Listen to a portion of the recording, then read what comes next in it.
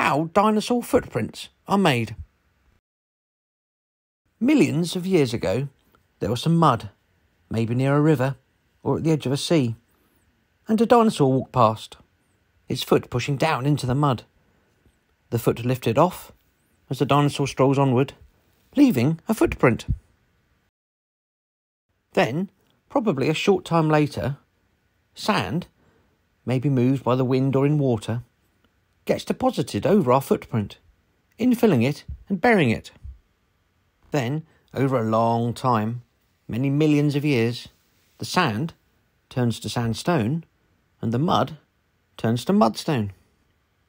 Where the two layers of rock meet, here, is possibly a plane of weakness, so allows the two layers to be separated, like this, giving us two separate features a mould, or mould, and a cast.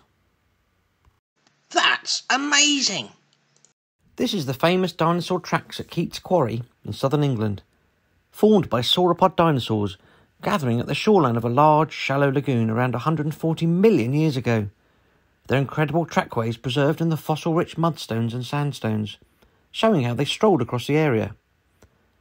Their footprints are preserved as moulds, the sauropod's foot making a mould as it walked through.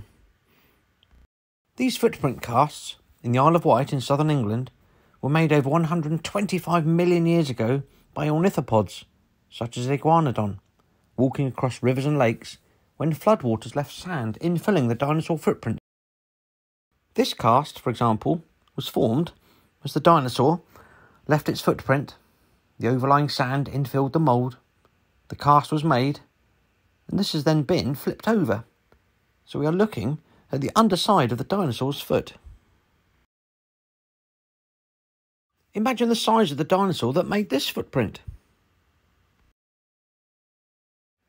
This cast is large too, the three-toed footprint clear to envisage. But have a look at the other feature too. Is that a concretion, or maybe a sauropod footprint that the three-toed dinosaur has stood upon? And how tall was the owner of this footprint? This cast is also impressive. It is very large in size. It may be with an initial sauropod footprint, this overlain by a footprint of a three-toed dinosaur, which is itself overlain by another footprint of a three-toed dinosaur too.